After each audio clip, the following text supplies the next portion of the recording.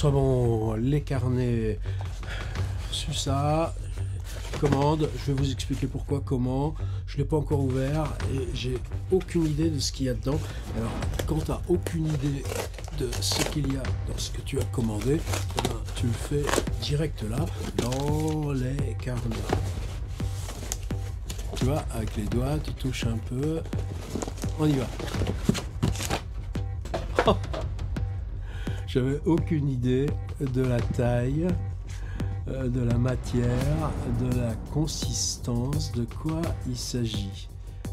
1, 2, 3, 4, 5, 6, 7. Maintenant, pareil, parce que là, j'en ai plus aucune mémoire, je vous lis les titres. The hardest effects of dying. Les effets contraires de la mort. What it feels like to cry with your brain. Qu'est-ce que ça fait de pleurer avec ton cerveau? Someone did something. Quelqu'un a fait quelque chose. Oh, petit écho Michaud. The trauma of hating a celebrity. Le trauma de manger une célébrité. The man living inside a zoo elephant. L'homme qui vivait dans un zoo pour éléphants. The thing I forgot. Les choses que j'ai oubliées. The books keep getting worse and worse. Un livre qui devient de pire en pire. Alors de quoi il s'agit? Ces tout petits fascicules, si j'en ouvre un, comment à l'intérieur? Ah ben encore une autre surprise. Tu te dis, un livre, tu vas voir du texte. Non, d'un livre avec euh, des pages. Franchement, je, le découvre là euh, avec. Et dans ces pages, des petits encarts graphiques, on dirait euh, presque une, une copie écran et imprimé. Alors, tu- ça, on dirait que c'est du, du perpétua majuscule. Most of my ideas were only three inches tall, but I thought they were a few hundred feet tall. La plupart de mes idées ne faisaient que 3 cm de haut. Mais moi, je pensais qu'elles faisaient 3 mètres de haut. All of my neighbors were afraid of the cheese panthers. They thought the cheese panthers. Bon, je ne vais pas lire en anglais parce que ça. euh, je suis pas, pas assez l'accent. Euh, les choses que j'ai oubliées. Est-ce qu'on a le même système? Ouais, on a des. euh, là, on est quoi? On est dans. euh, comme si tu avais photographié ou fait une vidéo plutôt de. là, tu roules en voiture la nuit. tu as les phares, tu as tous les petits trucs, là, de- des tableaux de bord à, allumer.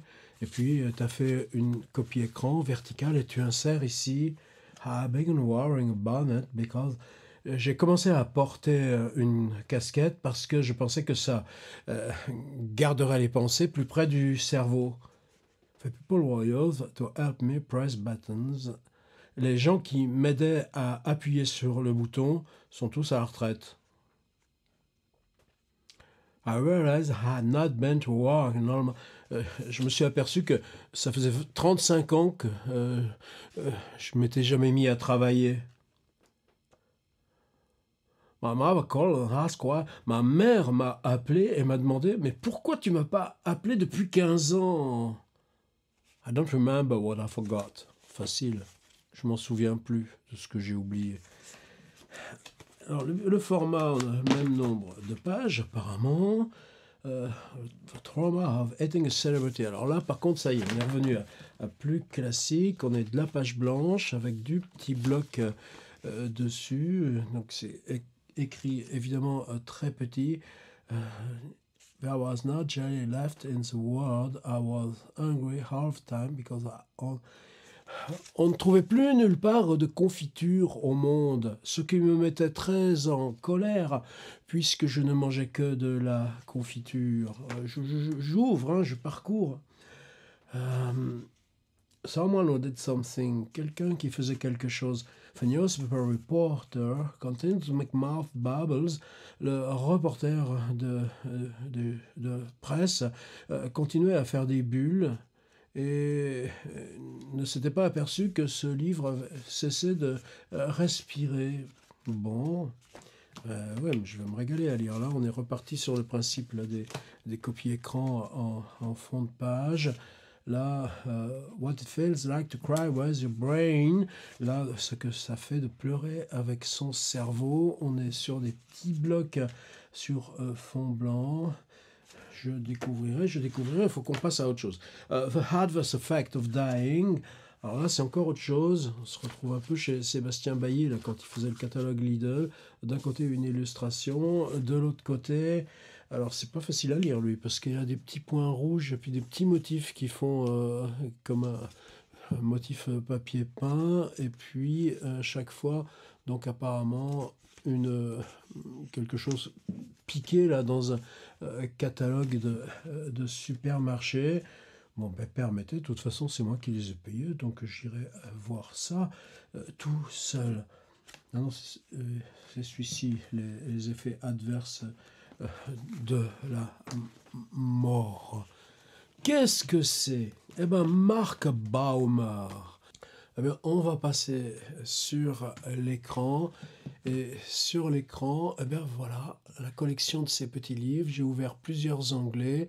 Marc Baumer, je vais vous montrer à quoi il ressemblait. Le tiers-livre web. Voilà, ici, on a cette photo qui est évidemment euh, prise à son voyage à travers l'Amérique euh, pieds nus. Et sur Tierlivre, ça s'appelle Tombeau pour Marc Baumer de la vidéo construction d'un web hameau. Et eh ben, là, c'était à Beaubourg en octobre 2021, le 20 précisément. Quelqu'un qui s'appelait Arnaud et m'avait invité. Là, c'est des soirées qui font une fois par mois avec le HESS. Le principe, c'était justement que je parlais de, là, dans un lieu sur la question du cinéma, euh, qu'est-ce qui, moi, me liait à la vidéo? Et dans l'article, il y a justement une sorte de, là, une intro à partir de Guy Debord, des, films de Strands et Schiller, 1920, Flaherty, 1927, Romer, 64, Cortázar, Marcher dans une ville la nuit, 1975.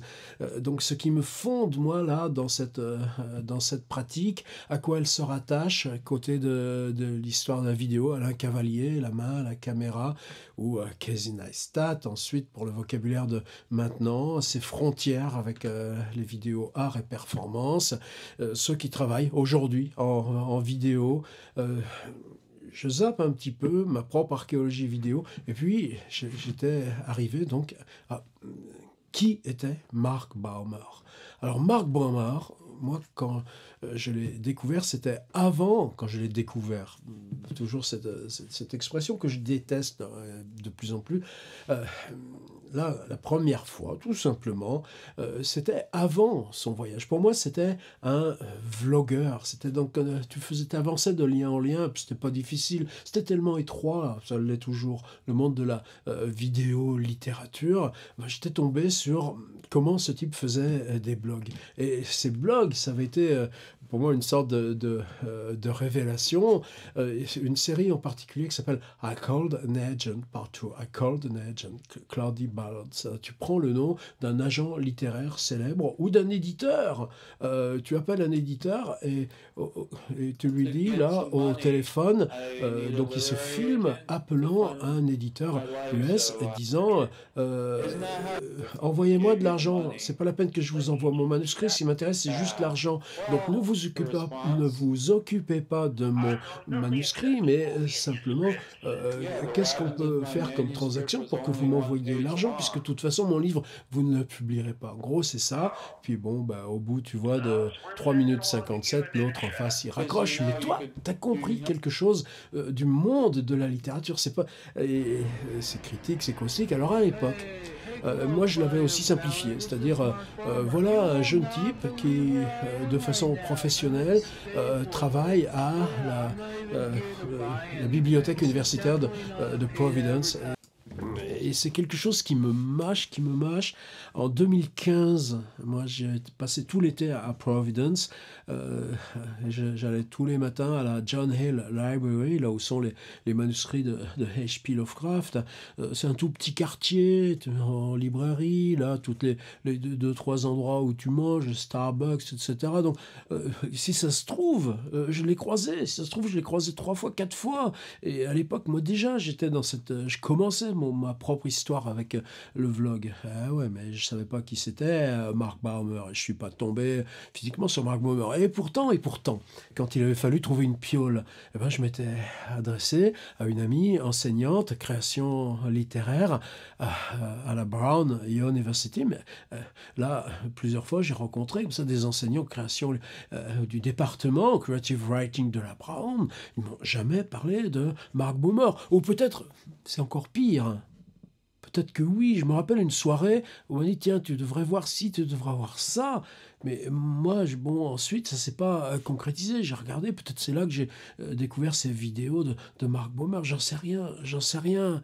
Euh, c'était Cole Svensson, là, et son, grâce à l'amitié de Cole, j'avais pu être en contact avec une de ses étudiantes, Creative Writing, qui maintenant est à New York. Je continue de la suivre sur Instagram, et qui, comme l'été, elle n'était pas à Providence, ben, ça l'arrangeait bien de soulever sa piole, et sans que je sache que Angel Street, cette petite chambre par hasard, était juste en face là, de la maison natale démolie de, New York. Donc tout ça, tout ça se rejoignait, mais je n'ai pas croisé Mark Baumer. Alors qu'est-ce qu'il faisait, lui, à la Brown, en création littéraire?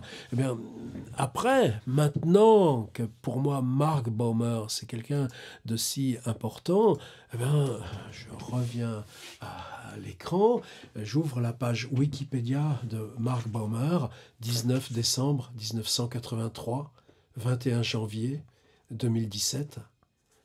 Il avait 34 ans quand il est mort.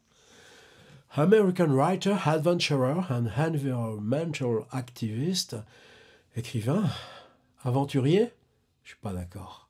De 2009 à 2011, il participe au programme, il s'inscrit à la Brown University en art littéraire on ne dit pas creative writing, on dit literary arts. C'est important. on n'a pas encore là, on n'est pas encore entré là dans euh, cette définition d'art littéraire. Et puis je crois que c'est un débat qui est mort-né.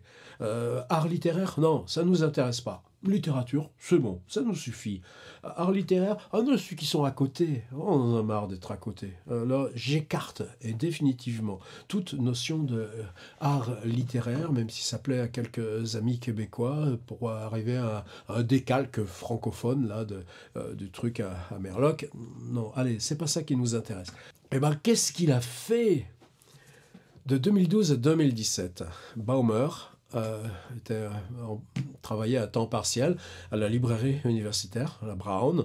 Pendant cette période, il a publié plusieurs livres. En 2012, donc voilà, pour son diplôme de création littéraire. En un an, il écrit 50 livres.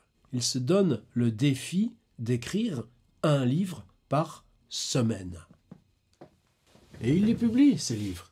Il les publie lui-même, euh, en, utilisant, et là encore, nous, vous voyez combien de, euh, retard, KDP, c'est-à-dire la plateforme d'Amazon. Et, ben, tout simplement, moi, ça, alors je le savais, je le savais. Je disais, mais euh, tu t'imagines même pas que ce soit accessible. Donc j'avais une vague idée, ah peut-être qu'un jour, euh, quelqu'un aura la riche idée de, euh, nous republier ces 50 fascicules que Mark Baumer a écrit sous forme de performance en un an, un livre par semaine pour obtenir son master de création littéraire à la Brown, qui est une des plus réputées pour son programme de Literary Arts.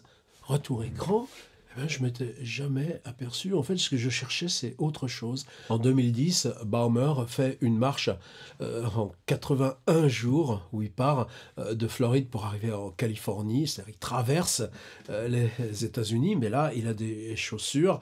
Et dans cet été 2010, Baumer traverse les États-Unis en 81 jours. Le voyage commence à Tybee Island, en Géorgie, pardon, et se termine à Santa Monica, donc Los Angeles.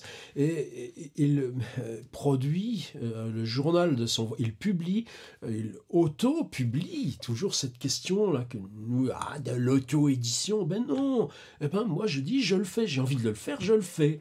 Et ça s'appelle « Je suis une route ». I am a road. I am a road. Et donc là, je me disais, mais ce livre de 2010, maintenant que Baumer est mort, peut-être que je peux me le procurer. Et je m'en vais sur Amazon. Et là, en quelques secondes, alors tu as toujours des, des, des, euh, des, publicités qui se rajoutent. Euh, pommade et baume de Suisse, baume de cheval. Tu crois que ça existerait un baume de cheval à nous ressusciter euh, Marc Baumer? Merci les Suisses. Et ensuite, résultat, tu as toujours ces histoires de baume parce que Marc Baumer, Marc le baume. Non, et là, tout d'un coup, je m'aperçois que les petits fascicules, ils sont là, brochés, 6,60 euros. Alors, euh, je m'en suis commandé euh, 3 et 3, 6 et un 7. Euh, c'est tout simple parce qu'Amazon, tu sais, à partir de 35 euros, euh, t'as pas de frais de port. Donc, je me suis dit, allez, 35 euros, j'en achète 7. C'est un investissement? Oui, mais c'est Marc Baumer Combien on est en France à posséder les opuscules de Mark Baumer Ah ben tu vois, en plus, je crois que je vais aller aux 50. Ce sera ma collection. C'est compliqué l'histoire. Est-ce que tu es bibliophile? Non, je suis pas bibliophile. Mais tout d'un coup, là, c'est ces choses-là, Michaud, j'ai les œuvres complètes, Greg, j'ai les œuvres complètes, tu as besoin, là. Et pour moi, Mark Baumer, c'est une dimension affective. Ça, ça va être le dernier euh, euh, tiers de, euh, la vidéo. Donc je crois que je vais pas faire toujours parce que ça me coûte cher ce journal. Oh Mais comment je pourrais là en parler si j'avais pas là ces petits trucs en main? En plus ils sont agréables tu vois c'est tu vois ces petits cahiers Clairefontaine là qu'on trouve là les petits carnets pour écrire Clairefontaine là qu'on trouve dans, dans toutes les, papeteries chez nous. J'en ai je sais pas combien enfin autrefois dans mes tiroirs. C'est le même petit format papier glacé. Je savais pas qu'on pouvait imprimer d'ailleurs euh, sur KDP des, des formats aussi petits. Mais regarde ils sont là les 50 euh, alors j'ai commencé, tu vois, les, trois premiers, ben ça y est, c'est les trois premiers que j'ai commandés. Adverse Effect of Dying, What It Feels Like to Cry, For Book Getting Worse and Worse, les choses que j'ai oubliées. Et puis, eh ben, ensuite, euh, il y en a d'autres. Euh, L'homme qui... For Man Who Got a Face Job. Oh, je ne saurais pas traduire comme ça sans savoir ce qu'il y a dedans. Uh, the One Hovers, une, mais c'est une compile audio des, des boulots. The Boy When One Go Live Soft, ah, blah, blah, blah. toujours les baumes qui se greffent par là. Euh, comment nourrir les désirs inadvenus? Comment nourrir les désirs inadvenus? Ah ben celui-là, tiens, je vais me le commander. Le jour où je suis mort et ai quitté l'Amérique, là ça résonne un peu bizarrement, mais c'est comme Édouard Levé. Je crois que je suis bon pour une nouvelle commande de 7 à 35 balles. Bon, en tout cas, voilà, les derniers 11 euh, présidents des USA. Bon, un livre à propos, tu vois, c'est toujours, il répète. Euh, le titre, en fait, sur Amazon, c'est euh, Les 11 derniers présidents des États-Unis, un livre sur les 11 derniers présidents des États-Unis. The Remote Control Inside My Ability to Love. Oh, ma capacité intérieure à aimer gérée par télécommande. Un livre sur ma capacité intérieure à aimer gérée par télécommande. Uh, the movie that was almost over, maybe. Le film qui allait finir, peut-être. Un livre sur le film qui allait finir, peut-être. Mais tu vois, c'est pas la question de ce qu'il y a dedans, même si je sens que je vais me régaler. C'est un drôle de truc. Alors, allons-y euh, pour le, euh, pour le lourd. Je reviens à la page Wikipédia de Mark Baumer, son voyage de 2016-2017. C'est-à-dire que moi, c'est en 2015, c'était un an avant euh, son voyage. On est au, tout début de Trump et il a fait une traversée des États-Unis avec chaussures en 2010. il recommence en 2016, mais cette fois pieds nus. Et il se dit euh, que son voyage doit être la trace simplement euh, du dérèglement climatique. Qu'est-ce qu'il emmène? Une GoPro. J'attrape la mienne. Euh, j'ai ça, c'était en combien? En 2018, puis tu vois, je m'en sers plus, puis ça a tellement évolué. Maintenant, tu peux un petit, un petit écran de, chaque côté, tu peux me rajouter un micro extérieur. En fait, ça devient un gros machin euh, comme ça. Bon, enfin, en tout cas, je suis content d'avoir expérimenté à la GoPro. Je fais euh, 3-4 euh, vidéos avec ça, dont, tiens, une visite à la médecine du travail de Sergi. Tu vois, j'étais déjà vachement, euh, bah, justement, c'était après la découverte de, de Wammer. Il n'a même pas de, petits pieds comme ça, avec une pince. Qu'est-ce que c'est euh, commode pour te filmer en bagnole, par exemple. Donc, si tu ouvres ça, tu enlèves ce truc, et la GoPro, je la sors. Voilà, c'est ça, une GoPro. Et donc, il traverse les États-Unis avec sa GoPro. Tu as une conversation avec quelqu'un, euh, des mecs qui jouent au golf, des bourges de l'autre côté du grillage. Eh ben, tu filmes avec ça. Tu découvres euh, une publicité, et cette publicité te semble pas du tout innocente au regard, justement, des conditions de détérioration euh, climatique ou de la surconsommation, eh bien, tu la filmes. Et puis, ou bien, toi, tu es sous l'orage, tu te prends euh, la, la, grêle ou le truc et tu continues de marcher, tu te filmes. Ou bien il fait tellement froid et tes pieds sont tellement crevassés que tu restes une journée dans un motel. Eh bien, euh, là, tu parles à ta GoPro. Euh, où est-ce qu'il la recharge? Dans les stations-service. Il a un petit chargeur. Dans les stations-service, tu as des petits trucs à l'extérieur, tu te la branches au mur. Et puis, bah voilà, en même temps, tu filmes, tu regardes, tu entends euh, des objets trouvés. Qu'est-ce qu'on trouve par terre quand tu marches sur la route? Sa GoPro. C'est-à-dire que là, Mark Baumer, la chaîne YouTube, elle existe toujours. C'est-à-dire tu vas tout simplement sur euh, YouTube, tu écris euh, Mark Baumer et normalement sa chaîne s'ouvre immédiatement. Alors c'est géré par son ancienne compagne. Maintenant il y a une association dédiée à, la mémoire de, Mark Baumer. Mais si tu cliques sur vidéo, ce que tu vas trouver, c'est le blog des 100 jours. Maintenant on va en parler.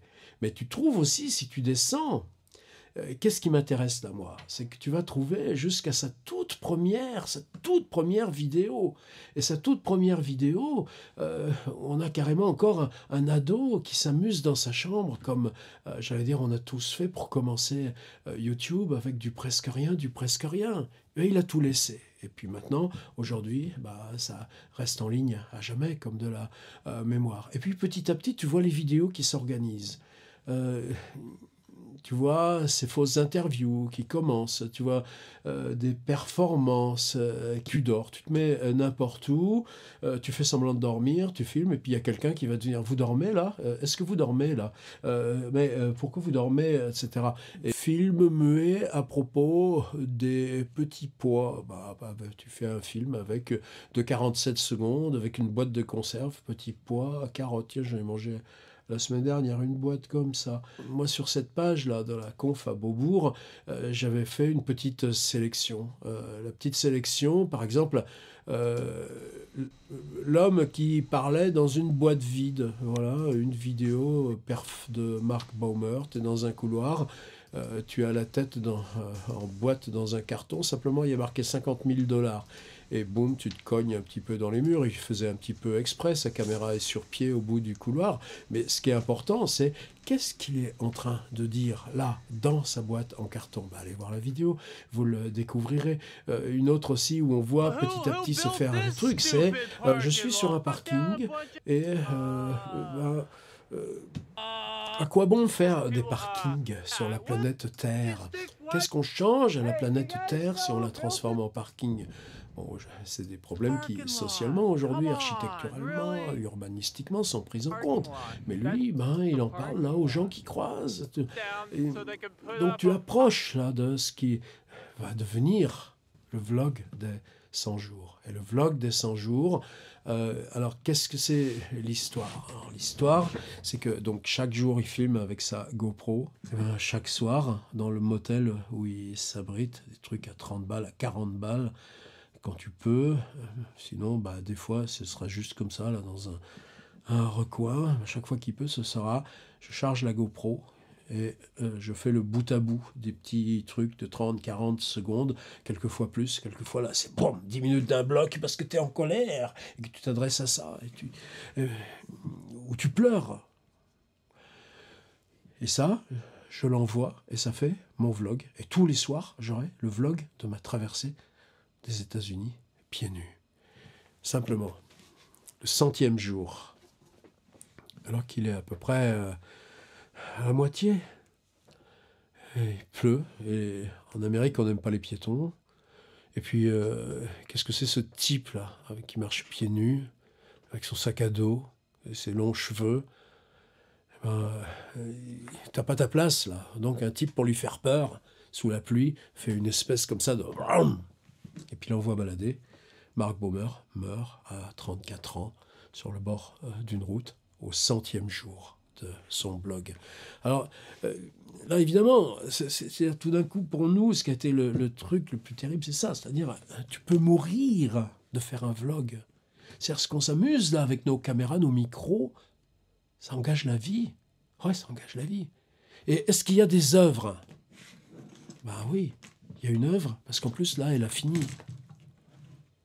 il y a une œuvre parce que là, ça dit quelque chose du monde, ça le dit narrativement, ça le construit avec des modalités, la dénonciation complètement différentes, là, de, euh, de profération, de témoignage, euh, d'entretien, et que ça, dans le séquençage des vidéos au jour le jour, ben, qu'est-ce que c'est? Justement, ce qui nous est la tâche. Alors qu'est-ce qu'il est devenu de ce blog? Ben, Justement, on était tous là, à se dire, mais est-ce que ça va rester en ligne? Est-ce que ça va pas rester en ligne? Là, il y a quelque chose qui se joue, qui est euh, tellement, qui nous concerne tous et toutes. Et le premier, ça a été un, gars qui s'appelle euh, Steve Ruggenbook. Je repars là sur euh, YouTube. Donc Steve Ruggenbook, on n'a plus des masses de, de nouvelles maintenant. Voilà, c'était ça. C'était un jeune type, un, poète. Voilà, sa chaîne vidéo. Il y avait énormément de, de, de perf, euh, de perf poétique.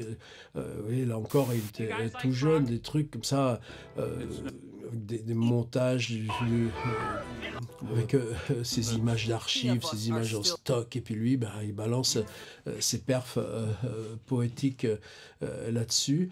Et puis, quand. Euh, donc, ça, c'était aussi une, une, chaîne que je suivais, à laquelle j'étais même vraiment accro. Euh, pourquoi ça s'est arrêté? 2017 Qu'est-ce qu'il fait maintenant? Ben, euh, Je ne sais pas. Et pourtant, ce type, ben, tu vois, donc les, les dernières, il s'est arrêté. Alors, qu'est-ce qu'il a fait, Steve Roggenbach? Il a pris l'ensemble des 100 épisodes du blog au terme duquel Mark Baumer est mort, blog 100, la veille de sa mort. Et là, 99, dans un monde où tout détruit quelque chose, rencontrant d'autres gens, etc. Le, blog est là, il est toujours en ligne, ouf, et heureusement. Et Rogenbach, Rogenbach, ouais, je pense que ça se prononce euh, comme ça, euh, ce qu'il a fait, il a tout rassemblé, et voilà un film où les 100 épisodes euh, sont rassemblés en continu pour en faire un film d'une heure, 6 minutes et 16 secondes. C'était le premier à faire ce, euh, ce, bout à bout, et c'est un film majeur. Ce qui enduit, là j'en avais parlé justement dans, dans la conférence à Beaubourg, une fois qu'a été lancée cette association des amis de Mark Baumer. Leur premier travail, c'était de reprendre les 100 épisodes du blog et d'en faire un film. Et donc justement, le remettre sous critères euh, professionnels. Je pense que tu refais un peu de colorimétrie, tu réajustes un peu le son, même si ça reste du brut, puisque c'est de la GoPro. Mais ce film, ils en ont fait un truc qui est diffusé en salle, qui est accessible évidemment dans les bibliothèques, etc. on est sur un autre paradoxe, c'est-à-dire que le film qui est l'héritage et le vrai héritage de Mark Baumer, eh bien, il est inaccessible. Euh, en tout cas, tu peux pas l'avoir directement sur YouTube. Je sais même pas comment je pourrais faire pour l'avoir. Il faudrait que j'écrive à l'association. Mais euh, ils n'ont pas demandé à ce que soit euh, supprimé là le bout à bout de Steve Roggenbach. Ici, sur mon site, j'ai mis 2, 4, 6, 8, 10, 12, j'ai mis 13, une sélection de 13 épisodes. Euh, c'est pas à vous que je parle. La question, c'est le futur de la planète. Tu ne sais pas la réponse, ne renonce pas pour autant. Euh, conversation avec un type à un arrêt d'autobus. Et le type euh, lui dit Moi, je vais vous dire comment on peut arriver à, à sauver le monde. C'est tout ça là, qui, nous, qui nous donne, en gros, euh, euh, d'autres fois, tiens, je m'étais, j'avais acheté des bananes parce que tellement ça. Et bah, ce jour-là, j'ai mangé 21 bananes tout au long de la route. Ou bien celui-ci, ce jour où j'ai tellement mal, tellement mal, tellement mal, tellement froid, tellement froid, tellement froid, euh, qu'il s'arrête dans un motel, un motel qui est même pas chauffé. Et puis, eh ben, je, je filme ma journée dans euh, le motel. Voilà, c'est ça, euh, c'est ça, c'est ça, c'est ça, c'est ça, c'est ça, c'est ça quoi? C'est ça, euh, cette œuvre, non-œuvre de Mark Baumer, puisqu'il meurt à l'œuvre au centième jour, cent unième jour euh, du vlog. par Une bagnole qui, euh, qui l'éjecte probablement volontairement et qui s'enfuit. On le retrouve là, dans la boue. Euh, Oui, j'en parle avec euh, émotion forcément, mais en même temps, toutes les questions restent. C'est-à-dire euh, le bout à bout de Steve Roggenbuck, je crois que je l'ai téléchargé moi de toute façon dans mon disque dur quelque part. Il y a toujours cette chaîne ouf qui est là et il n'y a pas un trimestre sans que je revienne en voir un ou deux épisodes ou tel épisode ou telle scène. Cette scène où justement il profère en colère, proférer, proférer dans la colère quand tu marches au bord de la route. Il y a quelque chose de biblique chez ce type. Et puis en même temps, ben, là justement, j'avais jamais été faire cette démarche-là. Euh, ah ouais, ce type, tu comprends, pour son master de création littéraire, il a enregistré, il a écrit et publié euh, 50 livres, un par semaine, mais j'avais aucune idée d'à quoi ça ressemblait, parce que j'imaginais même pas que c'était disponible, accessible. Bon, eh ben voilà, maintenant j'en ai 7, et je crois que je vais m'offrir la collecte euh, complète. C'est quoi celui-ci? Ah ouais, l'homme qui vivait dans un éléphant, des choses sur... euh, euh, tu fais des, des jeux sur les, pixels. Est-ce qu'aujourd'hui je m'habille comme une valise? Ou bien comme euh, Mitt Rom- Romney, être un acteur de cinéma euh, connu. Bon, maintenant je vais m'occuper de ça. Voilà, je crois que, euh, tu vois, comme les, euh, les musiciens, les violoncellistes qui, tout, qui rejouent Bach tout au long de leur vie. Moi, tu vois, je crois que si ce carnet, le problème c'est de dire ce qui m'a fait migrer là, de, la chaîne là, que j'avais, où il y a les ateliers, où il y a Rabelais, etc., à cette aventure des carnets. Une fois que tu en as parlé, ah oui, oui, j'en ai parlé tel jour, allez voir cette vidéo.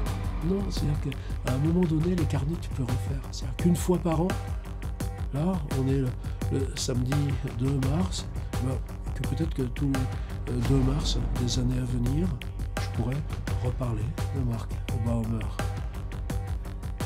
C'est beaucoup plus, en tout cas, Marc Baumer, qu'un 365e de mon rapport à YouTube. Et quand je reviendrai, j'en aurai pas 7, j'aurai les 35. C'est ça, toutes nos questions, toutes nos questions, toutes nos questions, toutes nos questions, toutes nos questions. Merci, Marc.